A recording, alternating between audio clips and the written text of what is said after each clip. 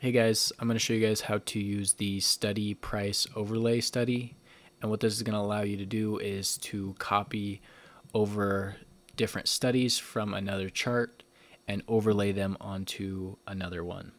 And so what this is really useful for and what I'm going to show you an example of is daily SMAs and EMAs and how you would copy that over onto a smaller time frame and so you can overlay that and see where those locations are.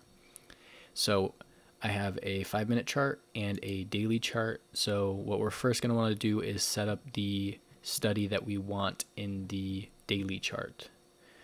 And so I'm going to go to analysis studies and I already have it here, but I'm going to do a simple moving average and let's do a let's do a 50 50 day moving average. And then I'm going to change this. I like it to be yellow. And I'm going to put a name here 50 SMA and then I'm going to check name label so it is showing the name label on the right edges. You can see right here. So now that we have that set up we're going to want to be able to overlay that onto here so we can see on the intraday chart where the 50 day moving average is. And so we're going to go up to analysis studies and then study price overlay. And so here it's right here. I'm going to add this. And what we're going to want to do is go to settings and inputs and study to overlay right here. You're going to see this is the two charts we have. So this is the one we're currently on, the five minute. And then there's this daily one right here, which is the one that we're gonna want. And then in this drop down, it's gonna show you all the studies on that chart. And so you can copy over any of them. In this case, we only have one, which would be the 50 day moving average right here.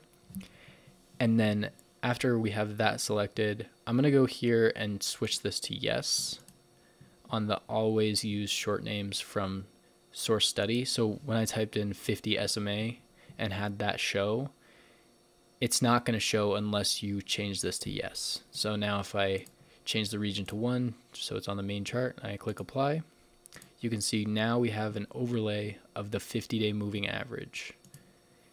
And so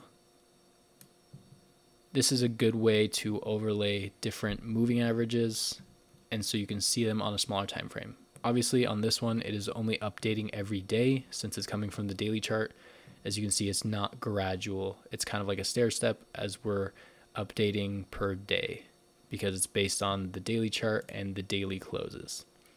Um, but you can do some pretty cool things with this, copy from different time frames and different charts over into another one. And that's about it.